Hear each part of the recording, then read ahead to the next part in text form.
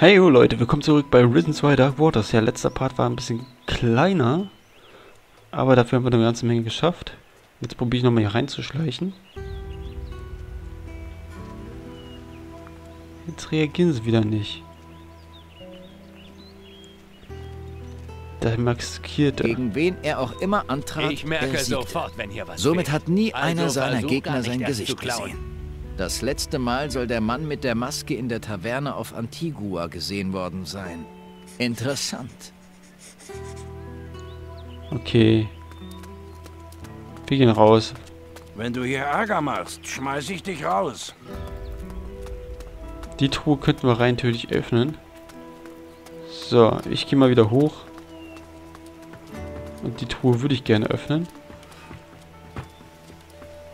Deswegen speichern wir nochmal ab. Ah, guck mal, die kommen jetzt hoch. Dann kommt mal hoch. Richtig schön weit nach oben. Ja, danke, danke, danke, danke.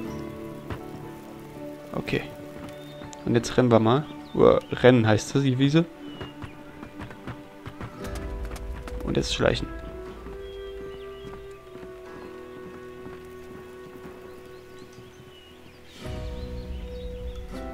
Okay.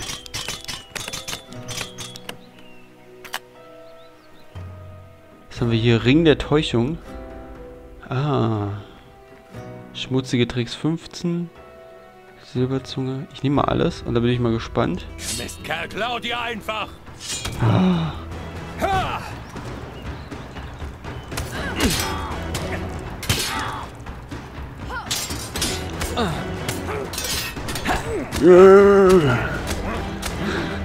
Ja, ich lade mal neu. Ja, klar. So, Spielstand laden. Ja, okay. Ist okay. Ihr habt, ihr habt, könnt alles sehen. Möchte euch, müsst ihr euch wahrscheinlich alle umbringen, damit es klappt.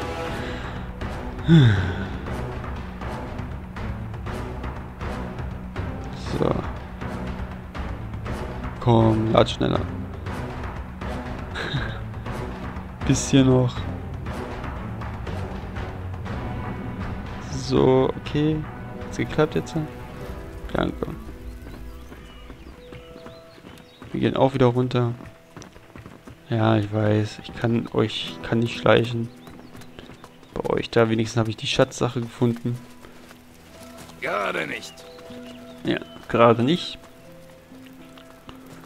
Wir gehen mal hier voran. Okay, der Arbeiter hat nix. Mal kurz. Ah nee, da bringt's eh nichts. Carter, zeig mir deine Sachen. Zeig mir die Sachen. Altes Hemd, Lederhemd.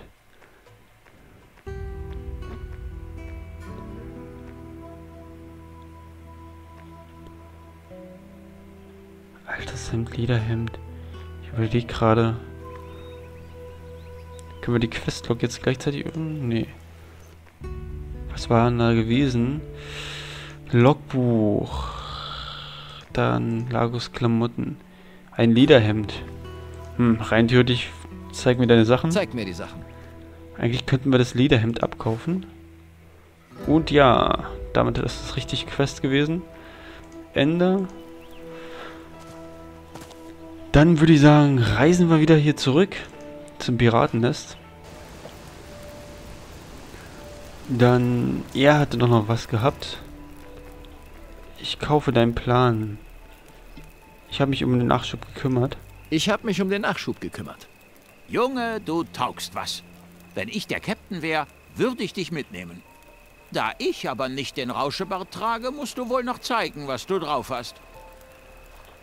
Okay. Ende. Wir können mal kurz speichern. Morris, was ist das? Ich kaufe deinen Plan. Ich kaufe deinen Plan. Dann pass mal auf. Ganz oben ist das Zimmer von Booz. Da ist einiges zu holen.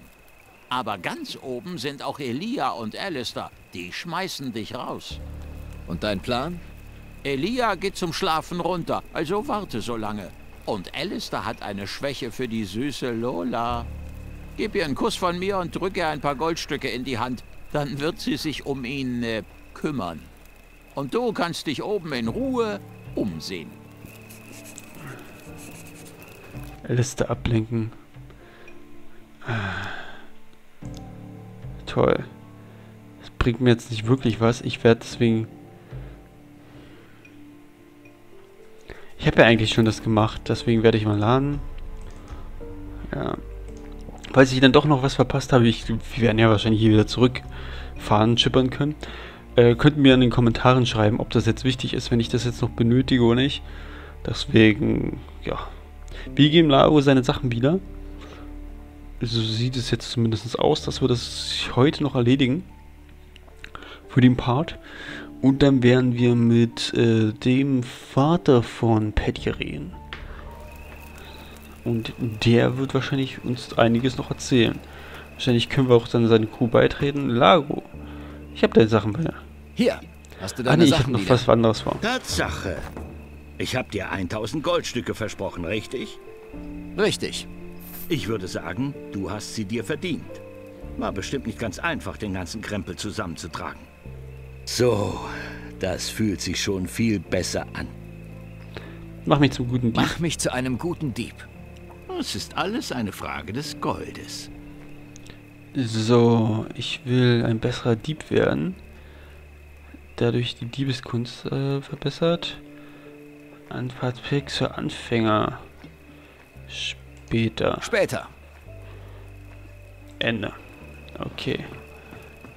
Mal gucken, vielleicht was Tipps für Anfänger, was das uns noch geben wird. Auf jeden Fall will ich hier oben hin. Denn der Kumpane kann uns erlauben, dass wir mit einem Äffchen was machen. Und das interessiert mich doch schon sehr. Da können wir schon einiges besser klauen. Das will ich nämlich haben. Und ich weiß ungefähr, wo auch noch Affen gibt. Deswegen, ich speichere mal hier ab. Flanagan. So, Taschendiebstahl versuchen. Ich bin noch nicht gut genug. Ich habe ein paar Tricks. Zeig mir ein paar von deinen Tricks. Welchen? So, ach, Gerissenheit 6. Oh, dafür habe ich, so viel habe ich noch gar nicht, oder? So gut bin ich auch nicht. Ähm, na gut Zeug. Ende, wie viel haben wir denn überhaupt jetzt? Charakter, Ruhm 3400. Für 4000 können wir die Gerissenheit nochmal verhöhen. Ich kann ja mal gucken, wie, was der, er meint ja, dass ich irgendwie da, der Schütz war richtig gut.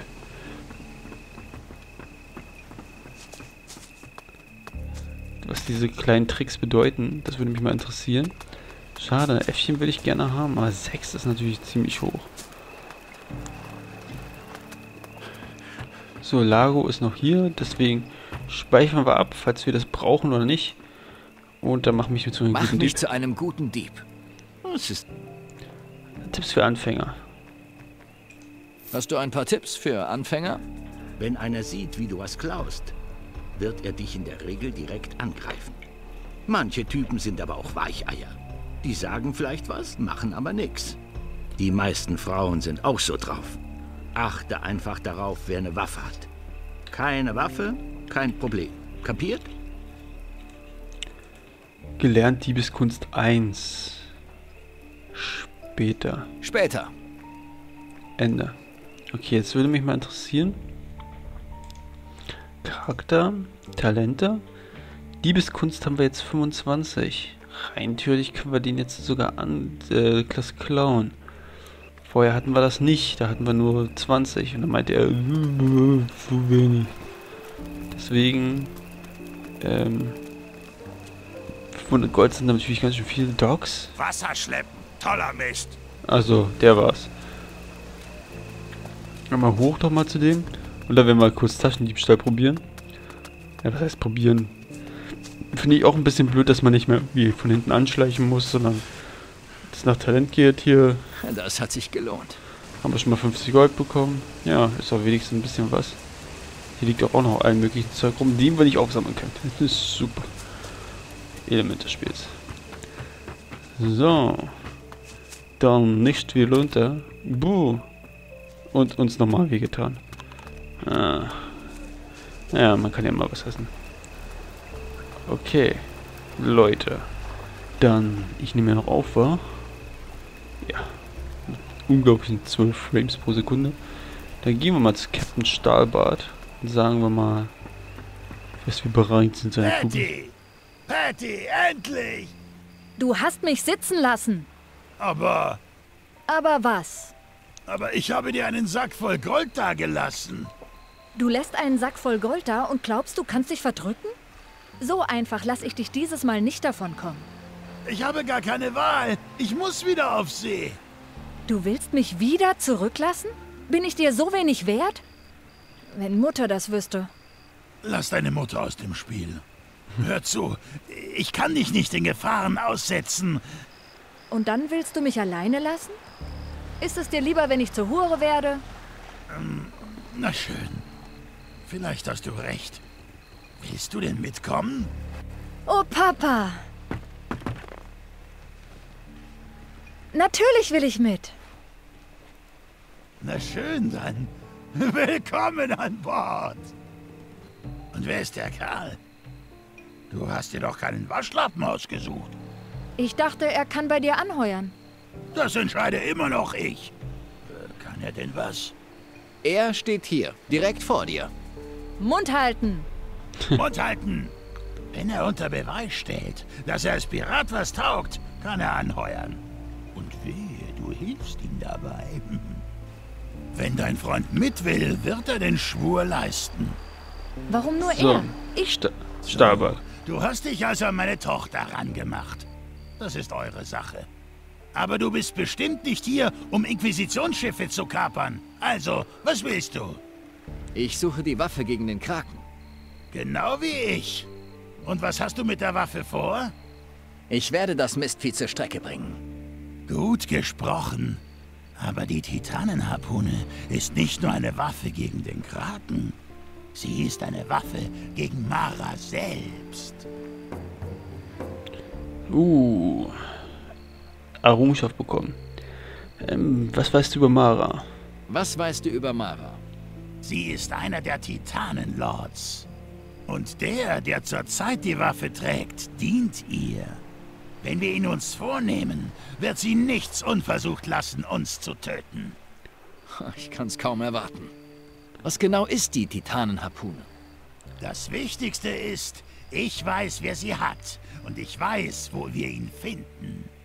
Doch es wird kein Spaziergang, sie zu holen. Also werde ich dich nur mitnehmen, wenn ich davon überzeugt bin, dass du ein Teufelskerl bist. Okay.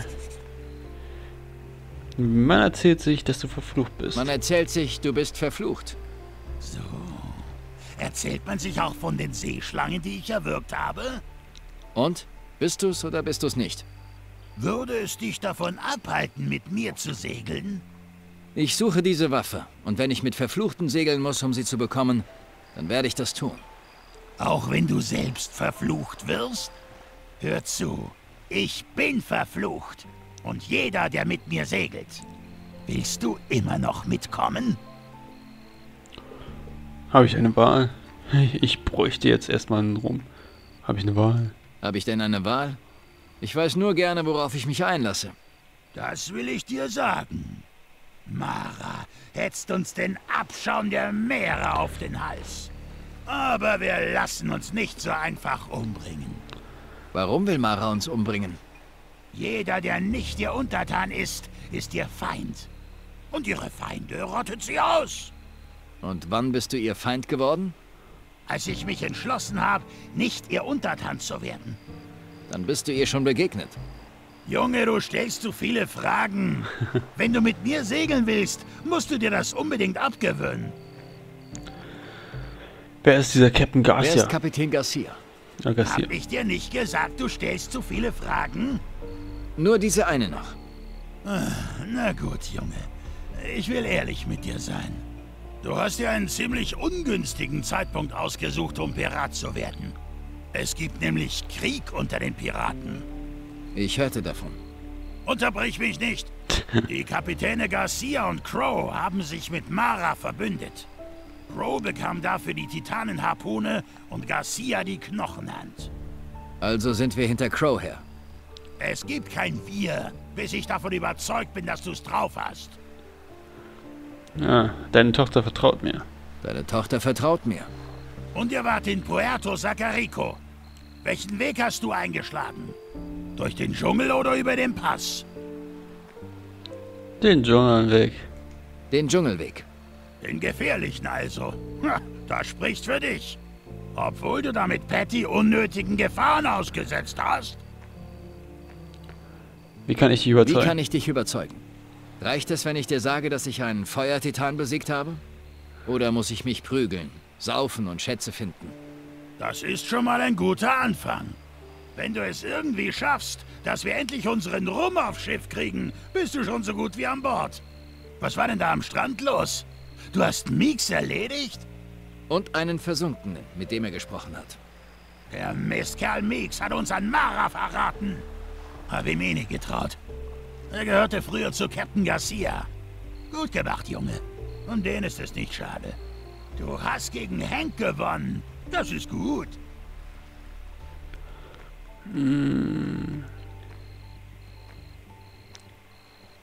Ich hab noch was, das ich überzeugen Ich habe könnte. noch was, das dich überzeugen könnte.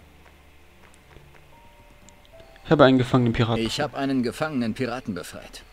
So, wen? Lago. Er saß in Puerto Sacarico im Turm. Gut gemacht, Junge. Wir Piraten müssten zusammenhalten.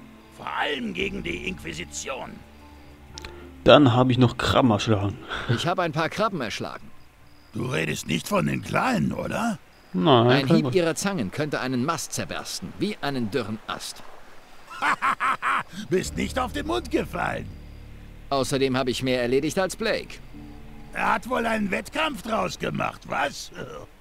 Jetzt mal im Ernst. Das war schon ganz ordentlich.